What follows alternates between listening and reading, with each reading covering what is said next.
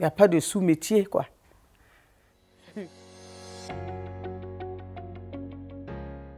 C'est qu'il n'y a pas de frontières dans la gestion des déchets.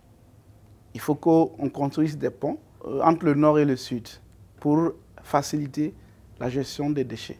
Nous faisons plus de 7 milliards dans cette planète. Nous devons être conscients que la Terre ne nous appartient pas. Nous devons l'utiliser d'une manière rationnelle et penser aux générations futures. Il faut, il faut, il faut continuer parce qu'on est dans un domaine qui est... On, on défend une cause noble les déchets, voilà, je trouve que c'est une cause noble et que nous devons avoir plus d'appui. Le chemin est long, mais je crois qu'avec un peu de volonté, on va y arriver. C'est une activité principale, comme toutes les activités que les gens mènent. Il n'y a pas de sous-métier, quoi.